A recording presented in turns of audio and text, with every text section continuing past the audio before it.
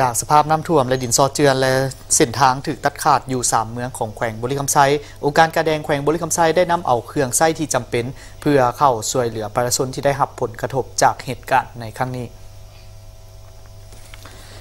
จากการให้ข้อมูลจากทานนางวันเพ็งไซสงคราม หัวหน้าห้องการการแดงแขวงบริคำไซให้ฮู้ว่าภายหลังได้หับข้อมูลเบื้องต้นจากบรรดาเมืองที่ได้หับผลกระทบจากภัยน้ำท่วมครั้งนี้ทางกระแดงแขวงบริคำไซก็ได้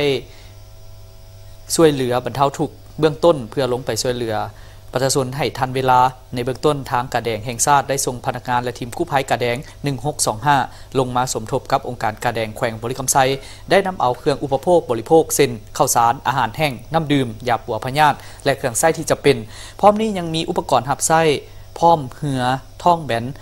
จักผลิตน้ำไส้สัวขาวเพื่อห้องหับ พร้อมเดียวกันนี้ภายหลังน้ำลดลง ทั้งกระแดงแขวงจะได้สมทบกับคณะรับผิดชอบต้านภัยพิบัติขันแขวง โดยเฉพาะภาคส่วนคณะสาวนุ่มแขวง ภาคส่วนป้องกันชาติป้องกันความสงบ เพื่อนำเอา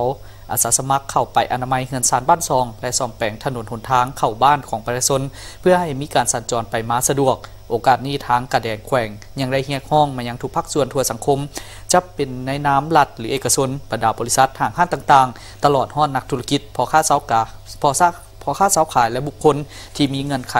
ช่วยระดมสมทบวัตถุปัจจัยต่างๆ สิ่งที่จำเป็นสมทบกับภาคส่วนองค์การกระแดงของพวกเขาตื่ม เพื่อแก้ไขบรรเทาทุกเบื้องต้นให้ทันการ